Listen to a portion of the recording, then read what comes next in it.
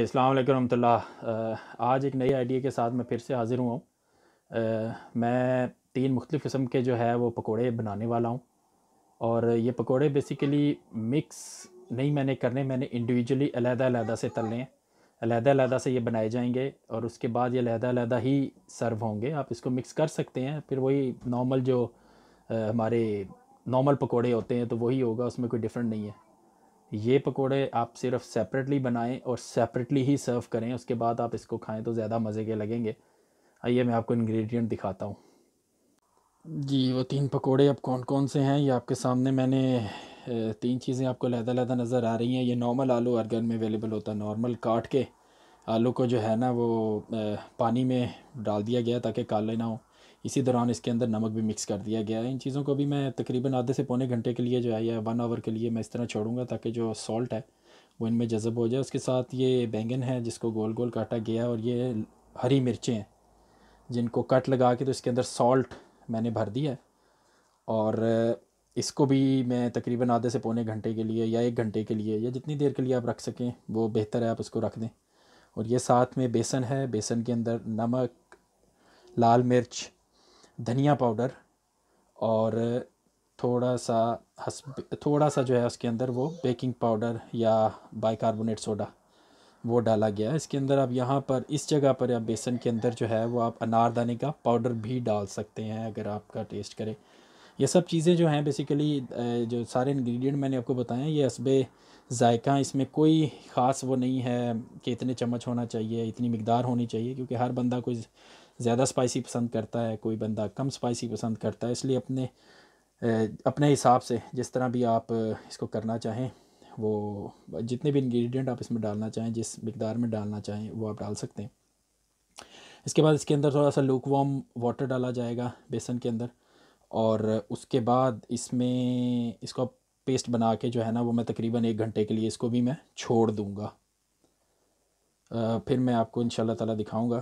کہ اس کے بعد اس یہ پیسٹ کیسا لگتا ہے؟ اس، یہ پیسٹ کس لیے بنایا جا رہا ہے؟ اس پیسٹ کے اندر میں نے صرف اور صرف یہ جو بینگن ہے، جو کہ اوبر جین جس کو کہتے ہیں، یہ گول گول کٹے ہوئے ہیں، اس کو اس پیسٹ کے اندر ڈال کے میں نے چھوڑ دینا ہے آدھے پونے گھنٹے کے لیے، تاکہ اس بینگن کے اندر یہ مسالہ جذب ہو جائے۔ اس کے بعد یہ ساری چیزوں کو انڈیویجولی تلا جائے گا فرائی ہوں گی اور سیپریٹ پکوڑے بنائے جائیں گے۔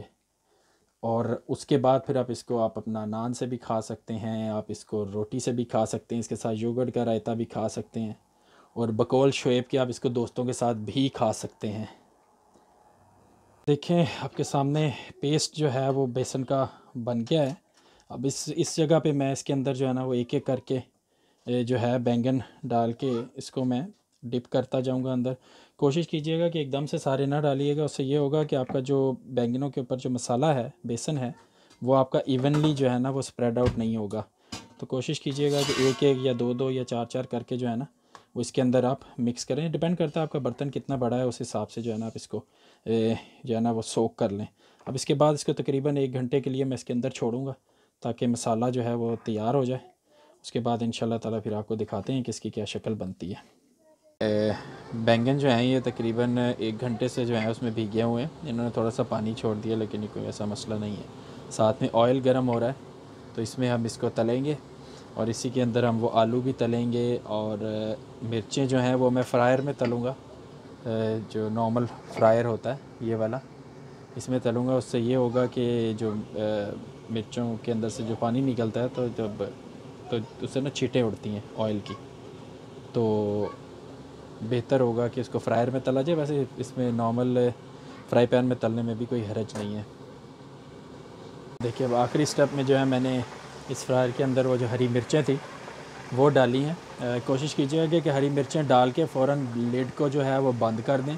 کیونکہ جب ہری مرچیں آئل میں ڈالی جاتی ہیں، تو اس کی جو بیج ہیں، وہ اڑتے ہیں۔